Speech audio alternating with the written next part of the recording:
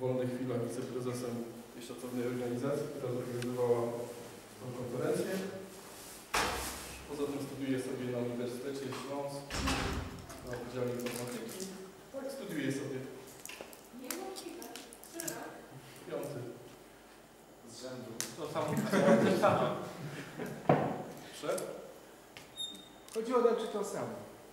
Klasy. I to już chyba wszystkie afiliacje, o których powinienem pamiętać.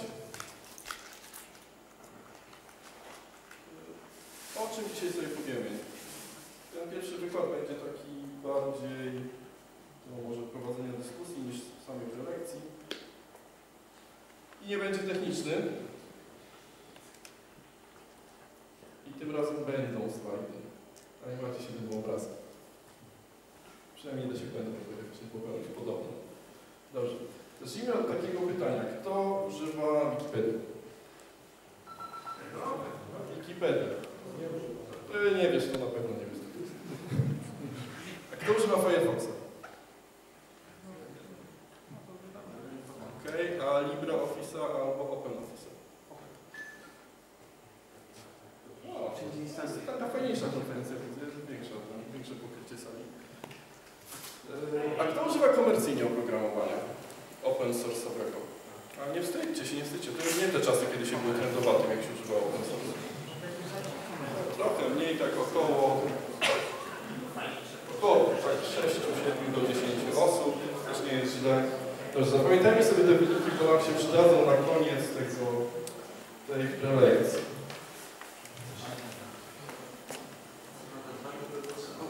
To ja teraz mam drugie pytanie. Kto spróbuje zdefiniować pojęcie kultury remiksu? Czy kultura remiksu i kultura dzielenia się to oznacza rapid share'a i wrzucanie tam kopii oprogramowania lub filmów? Czy może coś innego może być zremiksowane? Ubuntu może być zremiksowane. Tak, to może być zremiksowane. Już bardzo dobrze. Ale wstydliwi dzisiaj coś wszyscy chyba się jeszcze nie napili przed salę. Ja tylko. No dobrze. To może ja spróbuję zdefiniować pojęcie kultury remiksu. Pojęcie kultury remiksu, które istnieje w tej chwili w obiegu, to jest pojęcie otwartej wymiany informacji wraz z przetworzenia z zachowaniem autorstwa. Tak by to można było w skrócie ująć. To jeszcze drugie pytanie, znaczy następne pytanie mam. Czy ktoś potrafi zdefiniować pojęcie mecenatu? Krzysiu, ty powinieneś umieć zdefiniować pojęcie mecenatu. No tak, no wyglądasz na takiego mądrego, pracujesz w takiej szacownej akademickiej firmie. To jest jak ktoś piwo sponsoruje. Nie wiem, ja, ja, się, ja staram się z moim mecenatem rozmawiać jak najrzadziej. Z mecenasem chciałeś powiedzieć. Dobrze, to ja może pokażę, jak wygląda definicja. Bo, bo on jest moim mecenatem, to ja mu muszę płacić. Czyli ty robisz za mecenata. tak? Co to jest mecenat? Mecenat to jest opieka wpływowych bogatych miłośników i amatorów literatury i sztuki nad twórcami. Na ogół wiąże się to z finansowaniem, wspieraniem tych artystów i ich poczynań. Źródło Wikipedia. Zwróćmy uwagę na dwa istotne szczegóły. Wpływowy, to jest wpływowy na tej sali. Tam siedzą z tyłu. Agusia, się się nie zgłaszasz?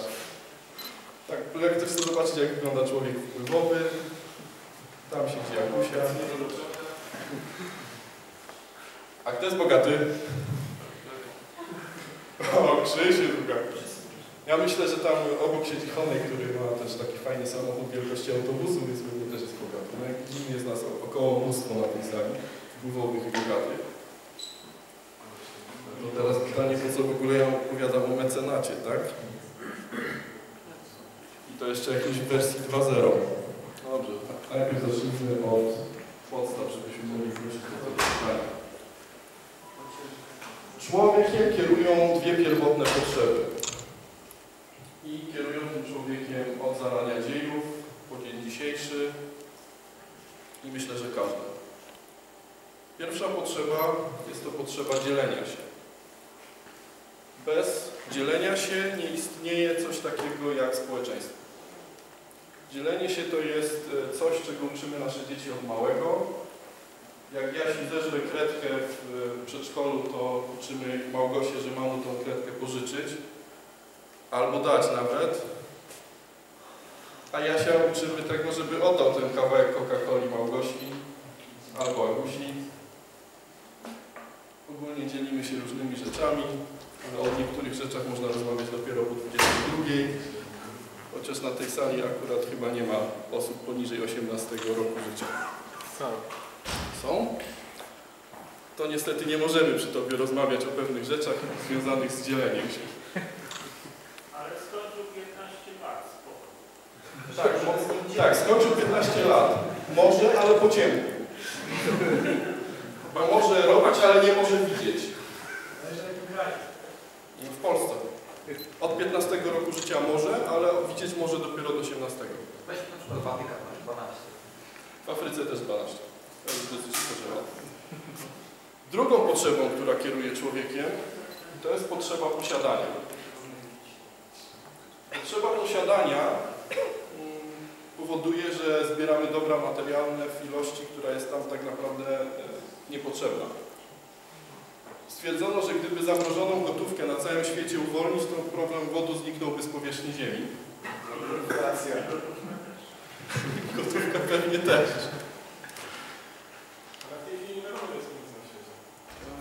To te, które wiadomo, że są przymrożone w postaci y, pasy, y, pasywów na kontach najbogatszych ludzi świata. Jest o tym cała książka mm, Bieda i nędza, wyzwanie XXI wieku, coś w tym stylu. Ogólnie tam są, tam są podane wyliczenia. Kwestia jest taka, że te dwie rzeczy trochę ze sobą konkurują, dlatego że z jednej strony ciężko się, znaczy z jednej strony chcemy dawać, prawda, ale z drugiej strony chcielibyśmy mieć na własność i tylko dla siebie. I to jest tak jak yin yang i dwie strony medalu. Jeżeli wahadło zostanie wychylone za bardzo w jedną stronę, to wiadomo, że próbuje znaleźć swój środek, stan, e, stan równowagi energetycznej, tak się nazywa. Krzysiu mnie poprawi, jak to jest. Ale ogólnie chodzi o to, że y, mm, jeżeli któraś z tych y, cech zaczyna przeważać, no to pojawiają się problemy. Bo żyjemy w czasach remiksu. Co to tak naprawdę oznacza? Przyjrzyjmy się produkcją filmową. Praktycznie większość filmów, które pojawiły się ostatnio, to są, tych kasowych przynajmniej, to są remiksy komiksów. To jest wzięty komiks albo książka, kolejny zmierzch do świtu, prawda, z wampirami y, lub Thor i inne wykonane barbarzyńcy atakujące z trójwymiarowego ekranu.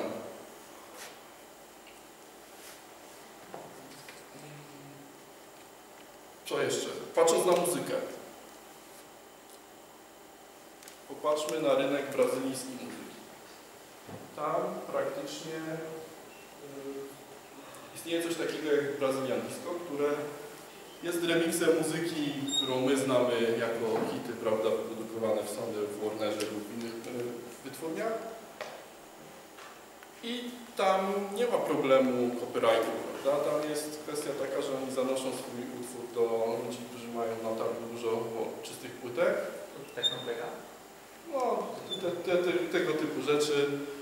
Nie dostają za to ani złotówki. Cieszą się, że ten gościu, który ma dużo tych czystych płytek, wziął to od nich, rozprowadził po rynku, bo stają się sławni, zarabiają na tym, że przychodzą ludzie na koncerty. Zarabiają całkiem niezłe pieniądze, żyją sobie całkiem dobrze z tego. E, W Stanach Zjednoczonych nazywani są piratami.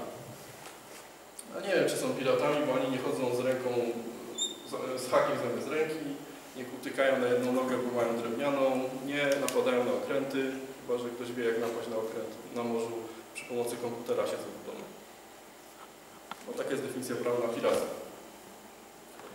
Patrząc na nasz tutaj lokalny rynek, no to też można stwierdzić, że wszystko już zostało napisane, wszystko już zostało zagrane. Bo popatrzmy na takiego Tiesto, którego najsłynniejszy kawałek to jest Adagio for Strings, zremiksowane utworu Barbela z dosyć znanego filmu Pluton, który tam brzmi trochę inaczej, jest spokojniejszy i ciężko do tego pogować albo uprawiać jakiś breakdance. Jeżeli spojrzymy na oprogramowanie, które jest wytwarzane, no to też przecież to oprogramowanie nie się z niczego. To są jakieś informacje, które wpadają nam do głowy w postaci interfejsów e, użytkownika innych programów. Po przemyśleniu stwierdzamy, ok, da się to zrobić lepiej. Tak naprawdę bierzemy otoczenie, remiksujemy w naszej głowie, wytwarzamy coś nowego. Jest pewna teoria, która mówi, że wszystko już zostało napisane. Wszystko już zostało napisane i tylko to, co czytamy, to, co oglądamy, to, co widzimy w malarstwie, to jest tylko kolejna inkarnacja w postaci remiksu przechodzącego przez głowę jakiegoś autora. Więc gdzie jest problem? Problem jest w tym, że informacja chce być wolna, a w dzisiejszych czasach nie jest. I nie chodzi o to, że wolno bo powoli się porusza. Takie kotki biegają całkiem szybko.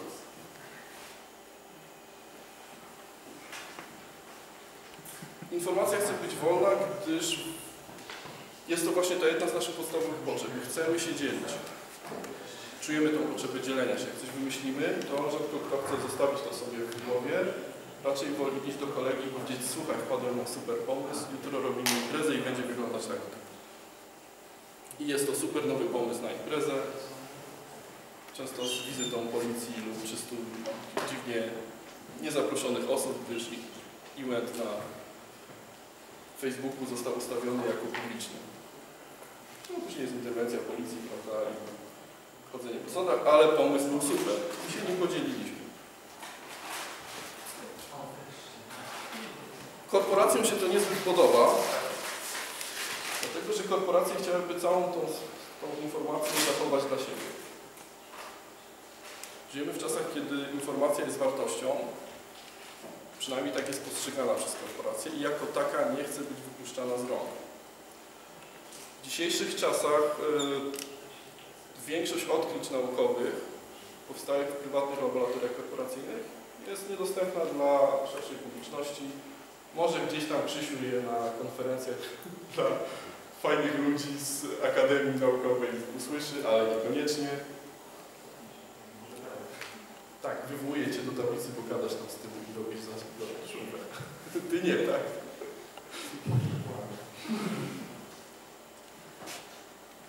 Jest więc problem z obiegiem wiedzy.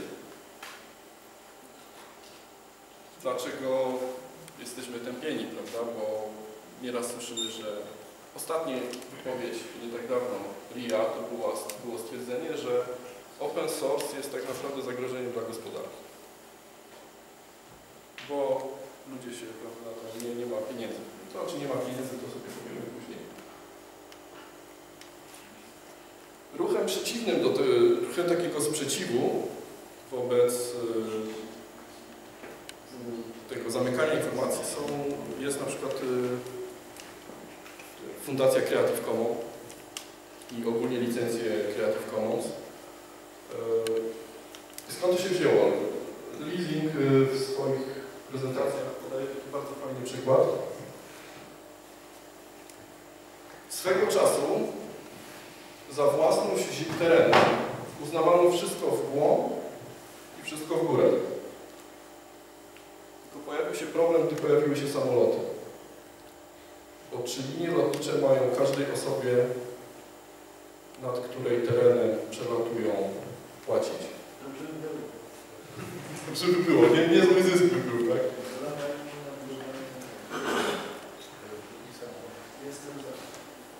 No, w prawie, w precedensach prawa uznano, że to jednak jest y, głupota, żeby ktoś miał własność nad naszym niebem. I y, jak latamy, to możemy wszyscy latać tak samo, jak wszyscy mogą pływać po oceanach i nie ma z tym problemu. Stwierdzono, że pewne e, istnienie pewnych praw y, jest bez sensu. Istnienie pewnych ograniczeń dla społeczności jest bez sensu. I z tego, z tego samego punktu widzenia wyszedł Leising, y, tworząc Fundację Creative Commons i licencję Creative Commons.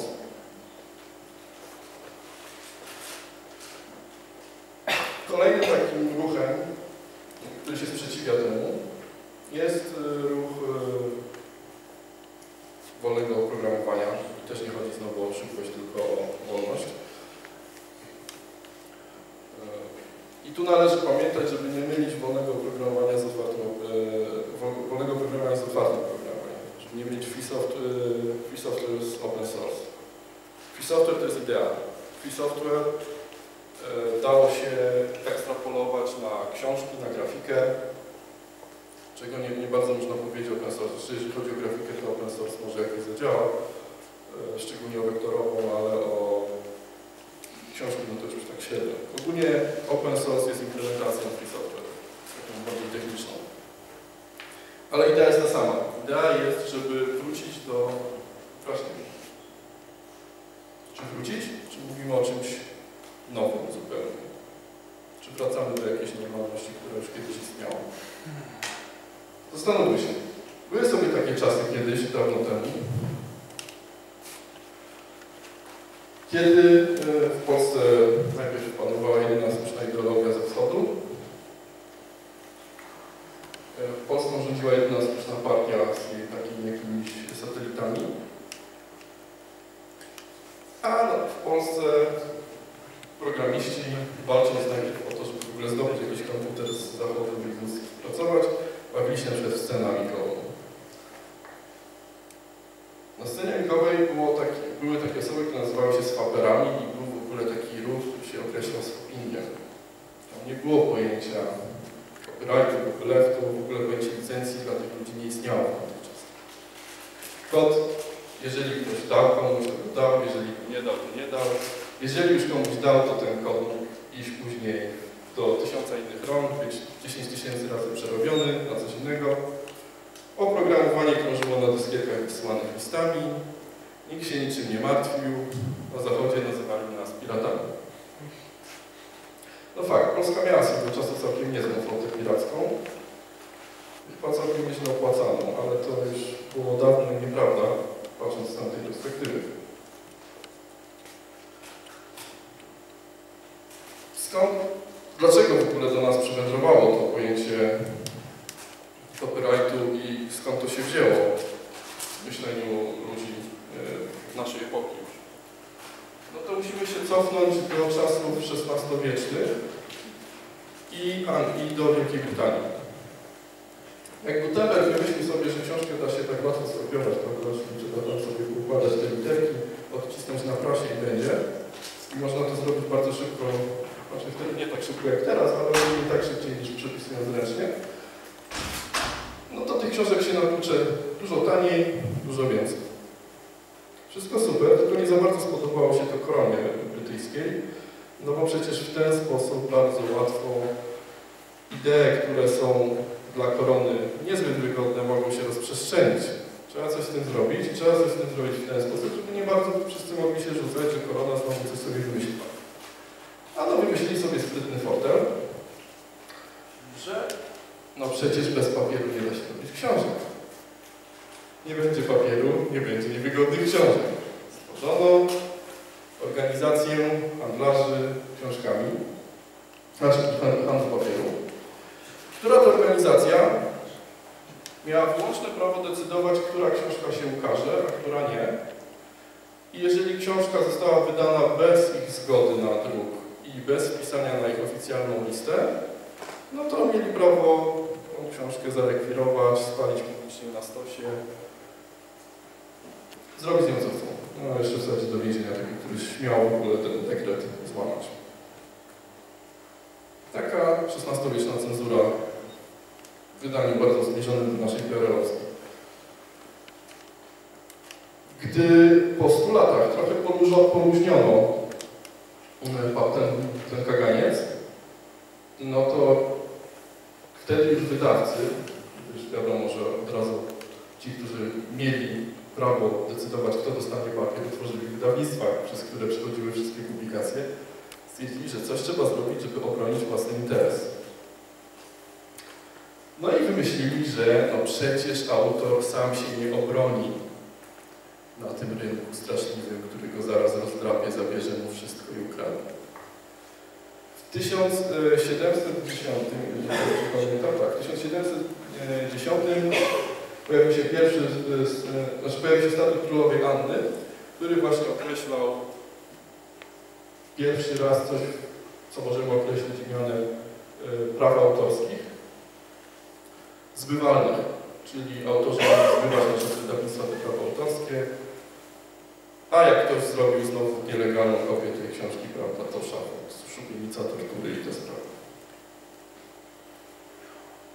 W dzisiejszych czasach, już nie mówię o tym, że właśnie po 9 krajów podpisało aktę, co jeszcze bardziej rygorysuje, ale, w Polsce obowiązuje prawo na bazie traktatu Trist, które jest dosyć rygorystyczne i w wielu przypadkach powinniśmy cieszyć się, że w ogóle coś dostaliśmy. Pratchett to bardzo fajnie opisał w jednej ze swoich książek, Dobry e, licencję użytkowania odtwarzacza DVD, która to firma sprzedająca ten odtwarzacz e, mniej więcej, oczywiście na bardzo wielu kartkach, napisała coś takiego, że ciesz się, że masz i w ogóle możesz używać. E, Diabeł, który reprezentował Lucyfera na ziemi, wysłał to do działu cyrografów z dopiskiem chłopaki, uczcie się. Tak to mniej więcej wygląda w dzisiejszych czasach. W większości przypadków mamy się cieszyć, że w ogóle dostaliśmy coś do ręki. Szczególnie w przypadku oprogramowania. Jakbyście się przyjrzeli swoim licencjom, to tak naprawdę producent oprogramowania zamkniętego ma prawo Wam w każdej chwili odebrać oprogramowanie, czyli wyłączyć je, nawet zdalnie. W iPhone'ach jest to w licencji każdego softu.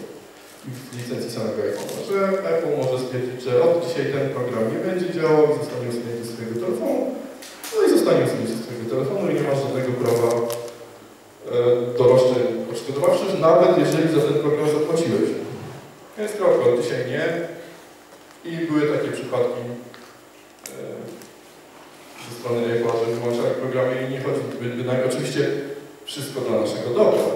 Ta opcja jest niby dlatego, żeby usunąć szkodliwe oprogramowanie z telefonu. Ja, hmm, to dlaczego wypadły programy, których zastępniki iPhone wypuściło w następnym tygodniu? Mam Takie przykłady. Ale on zmarł podobno dobrze, ale wcale. Inny przykład. Jeszcze zabawniejszy. Kto z Was zgodziłby się na to, e, żebyście nie mieli prawa do samochodu, który kupiliście? No, część się zgadza biorąc w leasing. Ale mówię, jest kupiony za gotówkę. Uściślimy. Kupiony za gotówkę. To się zgodzi. No dlaczego nikt się nie zgłasza? Przecież to jakiś super pomysł. Albo dla żony można kupić. To taki, s- o, dwóch chętnych. Z chęcią kupią samochód, do którego nie będą mieli prawa. No nie wiem, co byście kupili. To na pewno nie była jej pomata. Chyba, że zalewana piwem. Tak czy siak. No, chętnych jak widać nie ma. Okazało się, że w Stanach Zjednoczonych znaleźli się chętni na taki pomysł. Zdaje się General Motors, ale nie jestem pewien teraz co firmy, tak czy siak, w Stanach Zjednoczonych jakiś czas temu, to w zeszłym wieku było, pojawił się elektryczny samochód. Całkiem wydajny, sprawnie się jeździło. Dosyć specyficzna była licencja sprzedaży tego samochodu. Czyli umowa sprzedaży tego samochodu. Otóż umowa sprzedaży samochodu była licencją dzierżawy.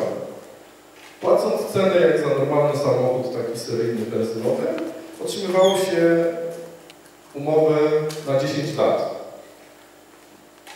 Oczywiście zapewniano ludzi, po 10 latach, jeżeli samochód będzie nadal sprawny, prawda, i w ogóle sprawdzi się jako samochód, będzie można tą licencję przedłużyć. Samochody się sprawdziły. Po 10 latach licencji nie przedłużono nikomu. Wszystkie zostały odebrane, często akcjami komorniczymi. W takich czasach żyjemy. Pytanie, czy tak było zawsze? Bo może to jest coś normalnego, że po prostu można ludziom zabrać pieniądz to jest tylko papier dłużny. Proszę? Franciszczyzna to się nazywało i istniało od zawsze. No tak, ja wiem, że płacimy 80% podatku. Jak kupiłeś samochód, to 80% tego samochodu należy do państwa. Gdańsku mówię. Nie martwcie się, niewolnicy rzymscy płacili tylko 10% podatku więcej, to znaczy zarządzali tylko 10% swojego majątku, a nie 20%. Ale może o polityce to przy piwie, a nie przy, przy Czy tak było? Ja nie mam. Nie przyniosłeś. Prelegenta, jak mogłeś. Skończyły się żywce. Prawda kosztuje dychę. Nie jesteś tyle wart. O. Ale nie zwracam. Jak chcesz podgrzany później. Tak? Co do samochodów elektrycznych, to teraz w Gdańsku jest e, firma do gościu, który przerabia spalinowe na Ale no tych firm jest dosyć sporo. Tak. które te- A tam które samochody elektryczne, tak. Okazało się, że jakiś ekonomista zaprojektował najlepsze rozwiązanie elektrycznego samochodu na świecie. Daj to z Rumunii jeszcze. Yy, Ale wracając do tematu, czy tak było zawsze? No to zastanówmy się. Yy, Wspólnoty pierwotne. Jak działają, jak działają wspólnoty pierwotne, żeby w ogóle zachować swoją tożsamość? No tam powiedzmy szaman albo jakiś przywódca, on zwoływał prawda, raz na jakiś czas wszystkich na zebranie i opowiadali sobie historię, tam pohukując i mówiąc na wszystkich Adam i Ewa. Ale w ten sposób przekazywano wiedzę. On opowiadał cały czas, wyłapując tych, którzy byli na tyle już rozwinięci w tym łańcuchu rewolucyjnym, zakładając, że ktoś w ten łańcuch rewolucyjny, żeby zrozumieć, co on do nich tam pochukuje i żeby mógł dalej to przekazywać. Pójdźmy trochę bliżej w nasze czasy, żebyśmy nie mówili jakichś wirtualnych e, wspólnotach e, plemiennych, które tam sobie przez góry idą, prawda, i jest 10 tysięcy. I pierwszy raz później słonia zobaczymy, jak przejdą przez te góry. Tak, to istnieją. Są miejsca na świecie, gdzie jeszcze jak się uda człowiek w ubraniach, to dla niego patrzą jak na kosmitę i zastanawiam się, czy to zwierzę. Proszę? Nie ma się pojęcia własności. Tak, nie ma się pojęcia własności. Ale popatrzmy na znane z Biblii plemię Izraelitów. W Izraelu, szczególnie tym e, z czasów biblijnych, mówimy o Starym Testamencie, czyli przed Chrystusem, istniała kultura słowa. mówionego. Tam w ogóle, żeby coś znaczyć w wspólnocie, to trzeba było być niezłym oratorem. I jest to jeden z powodów, dlaczego na przykład Chrystus przemawia w, e, do Izraelitów e, przypowieściami. Tam się do nich inaczej mówiło. Ale inna ważna rzecz, która była w plemieniu, to także przekazywanie wiedzy do kolejnych pokoleń w postaci opowiadań. W postaci, oni musieli się uczyć tego na pamięć. Jakby się spytało dowolnego dorosłego Izraelitę o swój, swoją historię swojego rodu, to był w stanie wymienić e, korzenie aż do oczywiście Dawida, no bo to się musiało zacząć nawet dziewięć, nie było innej opcji. No z rodu Dawida, nie 13 pokoleń Dawida, to, miał problem. To się na pewno okazało, pamiętaj, że wszyscy pochodzimy od Adama i Ewy, więc jakoś tam zawsze do tego Dawida doszedł, nie? Dalsza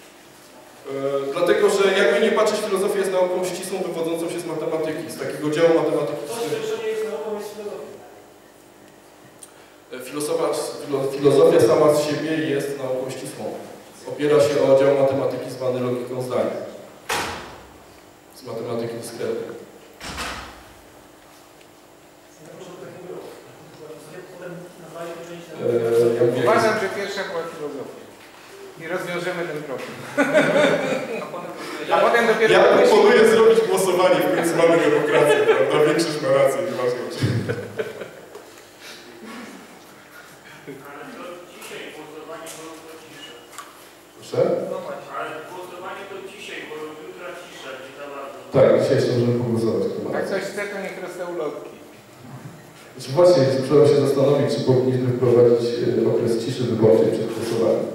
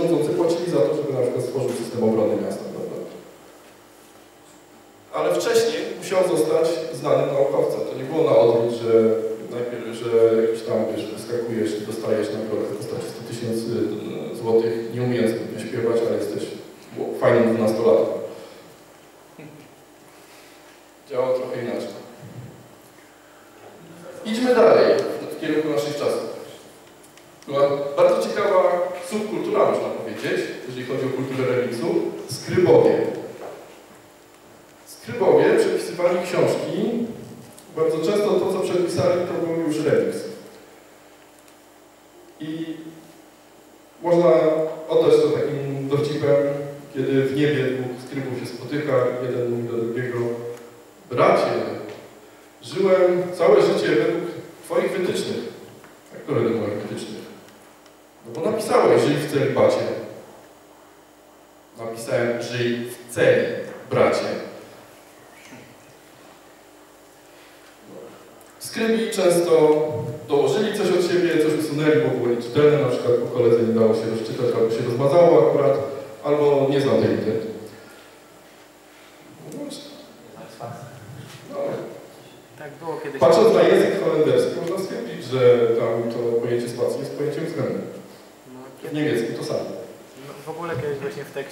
wcześnie stosowano, to lepiej do późniejszych generacji. E, wszystkie literki są? Są. Po co jakieś śmieci? To są, to są informacje numerowe.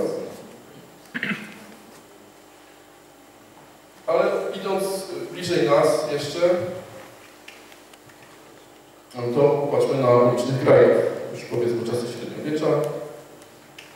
Uliczni grajkowie to też były osoby, które się swoją sztuką, swoimi dziełami dzieli z szeroką publicznością. Tam nieważne, czy miałeś te pieniądze, żeby wrzucić do kapelusza, czy nie. Oni odstawiają przedstawienie. Jak byli nieźli, to w tym kapeluszu było więcej, albo kapelusz stawał się niewystarczający, trzeba było już zainwestować w koszyk. Być może stąd wzięły się koszyki w kościołach. A jak byli słabi, to rynek ich sam wyrugował, prawda? Jeszcze pole, zamiast monet poleciały jakieś jajka, znaczy, jedzenie się znalazło, prawda? Jakaś konstytucja trafiwała. I taki jeden z chyba lepszych przykładów tego, że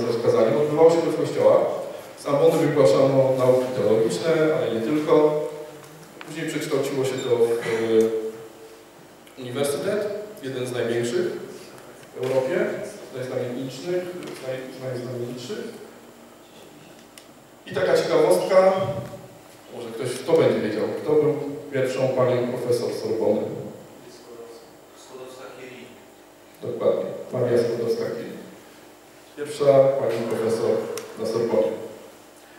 Ale tam też było tak, że e, wiedza była dla wszystkich, ale ci, co, których było stać, chcieli mieć, wiadomo, nauki dla siebie, jakieś ćwiczenia, tego typu rzeczy już płacili. Na dobrych uczelniach w dzisiejszych czasach jest dokładnie tak samo. Na wykład może wejść każdy. U mnie na uniwersytecie nieraz spotyka się dziewczyny lub chłopaków, osób studiujących, którzy sobie siedzą w ławce słuchają, nikt z tego powodu nie wyrzuca. Co innego z ćwiczeniami. Za ćwiczenia się płaci. Za wykład już niekoniecznie. Ale jak to możliwe, że to było możliwe? No nie obyłoby się bez tego, o czym mówiliśmy na początku, czyli mecenatów, czyli ludzi, którzy byli wpływowi, tak jak e, główny założyciel Sorbonne, czyli de Sorbonne, Faron zdaje się, i którzy mieli sporo kasy.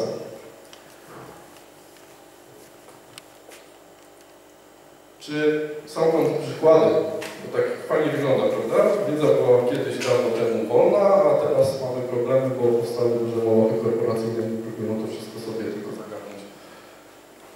No jest skąd przykład, jeden z takich e, bardziej oczywistych, to są kasty kapłańskie, na przykład starożytnego Egiptu, które posiadały wiedzę tylko dla siebie. Chrześcijaństwo jest tutaj, e, niezależnie od odłamu, e, dosyć takim odmiennym podejściem, dlatego że chrześcijaństwo buduje szkołę. A no, Sorbona jest tego przykładem. Kasty kapłańskie, starożytne miały odwrotne podejście, one były jak te nasze korporacje w tej chwili. Mamy wiedzę i ona będzie leżeć w naszym laboratorium koniec kroku.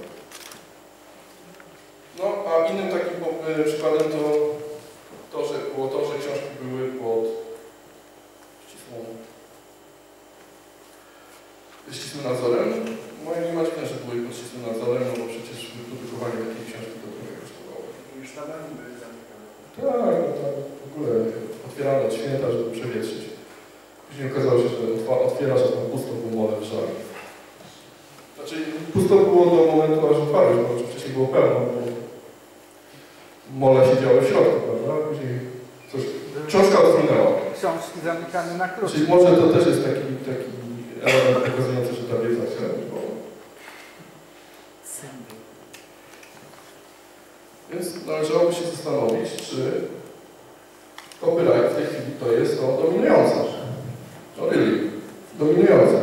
To popatrzcie na Chiny i na ich podejście patentujcie, będziemy mieli co kopiować. Jest patent, to jest dokument, z którego można sobie wziąć na ten patent, prawda?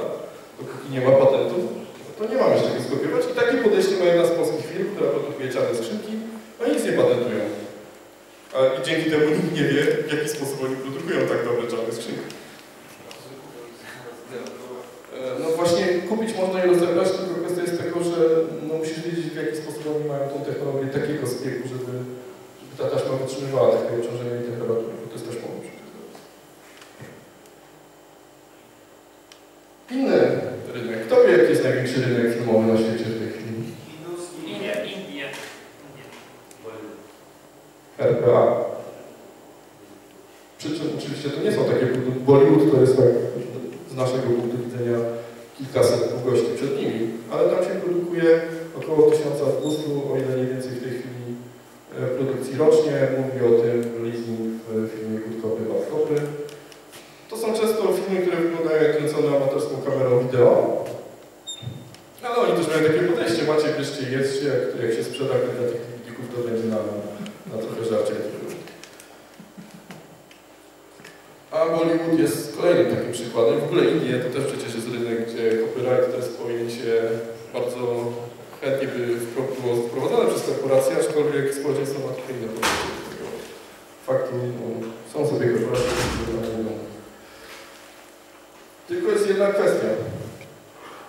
Jeżeli chcemy, żeby wróciło do normalności, jak z naszego punktu widzenia, czy jak się wydaje, z naszego punktu widzenia byśmy chcieli, to model musi się bronić biznesowo. Tutaj mamy dwóch wielkich przegranych aktualnie na rynku. Ale są wielkimi przegranymi, bo odeszli od y, broniącego się biznesowo modelu ekonomicznego. E, Model, jeśli się nie broni ekonomicznie, to mamy zachwianie tej naszej drugiej potrzeby, bo cały czas mówiliśmy o potrzebie dzielenia się, ale żeby się model, model bronił, to musi jeszcze być zapewniona potrzeba posiadania. I jedynym sposobem na to, żebyśmy, żeby ten model się bronił, to jest zapewnienie mecenatu. Tak ja nazywam to mecenatem 2.0. W dzisiejszych czasach jest bezproblemowe do wykonania. To jest opieka społeczności. To nie jest opieka osób wpływowych bogatych, to jest opieka społeczności. Oczywiście ci bogatsi muszą wtedy pomyśleć o tym, czy warto dać więcej, ale ci, którzy nie mają gotówki finansowo, to też są w stanie pomagać. Bo jak można pomagać? Można pomagać po pierwsze niematerialnie. I to jest być może nawet ważniejsza pomoc niż pomoc finansowa. Bo niematerialnie możemy pomagać przez y, marketing szeptany, pomoc marketingową, przez testowanie. Jest naprawdę istotne, żeby wpisać ten bug w Bugzilla i dać informację programistom, bo programiści już sami wiedzą, jak program działa, rzadko kiedy wykonają test małpy. A test małpy polega na tym, włączam program, klikam wszędzie, gdzie się tylko da i rzadko który program to przeżywa. Szczególnie w pierwszych wersjach. Możemy przecież zostać twórcami. To nie jest tak, że twórcą jest tylko książek, kto będzie dobrym autorem, tylko kolonista albo filolog. To nie jest tak, że dobrym aktorem będzie tylko ten, który skończył szkołę aktorską. To nie jest tak, że dobrym grafikiem to będzie tylko ten, który skończył szkołę plastyczną. Ani programistą. Ja znam informatyków, którzy skończyli liceum. Są jednymi z lepszych informatyków, których znam. A są tacy, którzy skończyli na studia i musiałem zwolnić po dwóch dniach pracy. Także to nie determinuje tego. Wykształcenie w dzisiejszych czasach nie do końca determinuje to, czy jesteśmy zdolni coś zrobić. Twórcą może być każdy i o tym mówi także ustawa. Ustawa o prawie autorskim wyraźnie mówi, że twórcą może być każdy z nas, kto cokolwiek stworzył. Ale ważne jest, żeby to umieszczać na licencjach otwartych, żeby właśnie można było użyć tego dalej. Jak już stwierdzamy, że nie materialnie, to, to jest ok, ale jeśli mówimy więcej, no to możemy wesprzeć projekty. Jak można wesprzeć projekty materialne? Po pierwsze, mikropłatność. Bardzo wiele projektów pozwala na przesłanie im dolara w dół przez PayPala, e, przez jakiś inny system donacyjny. Niestety projekt, który miał stworzyć e, taki kumulator dotacji międzynarodowy, wychodzi na to, że chyba umarł. Przynajmniej nic o nim nie słychać. No dobrze, że albo zdechło. Ale są projekty, które potrafią, które po- pozwalają na zebranie dotacji na to, żeby projekt ruszył. W ten sposób była diaspora dofinansowana. Jeżeli nie dotacje, bo nie chcemy na przykład dawać kasy za nic, mimo że nie uważam, że to jest danie kasy za nic, bo przecież z tego softu zwykle korzystamy, któremu dajemy dotacje, no to mamy możliwość e, kupna gadżetów na przykład. Bardzo wiele projektów wypuszcza swoje gadżety. My mamy koszulkę z fajnym logo. Koszulka się przydaje czasami. Koszulek podobno, tysięków podobno informatykowi dosyć. A projekt ma jakąś kasę z tego. I jeszcze jednym takim sposobem to jest branie udziału w imprezach płatnych, które dany projekt organizuje. Bo to też jest kasa, którą ten projekt otrzyma. Pamiętajmy, że dla nas bardzo często to jest kwestia jednego piwa mniej w miesiącu, ale jeżeli popatrzymy, że w Polsce jest około 700 tysięcy na spokojnie użytkowników otwartego oprogramowania w postaci Linuxa i mówię o użytkownikach LibreOffice'a czy tego typu pakietów czy Firefoxa, gdzie składowe społeczeństwa to jest 21% i 4, to znajduje się przy Firefoxie, no to są naprawdę duże ilości. Jakbyśmy pomyśleli, że każdy z nas płaci złotówkę na, z użytkowników LibreOffice'a na projekt LibreOffice, to oni mają e, pieniędzy z samej Polski na utrzymanie się na, na rynku i rozwój na myślę dłużej niż pół roku. A na trzy miesiące to na pewno. Także dla nas to są małe, małe kwoty, dlatego my jesteśmy w stanie stworzyć mecenat e, 2.0. Jeśli tego nie zrobimy, no to być może dalej będzie tak, że Linux będzie miał 1% udziału w rynku. Większe firmy i ogólnie spora część e, studentów będzie myślała i wchodzących na rynek pracy, że source to jest fajna przygoda, e, jak się jest młody, ale później trzeba pomyśleć o pieniądzach. A część ludzi, którzy nie rozumieją, będą mówili na nas komuniści. Na open source robi się, robi się biznes, robi się świetny biznes, ale to, czy ten rynek będzie rósł, czy nie, zależy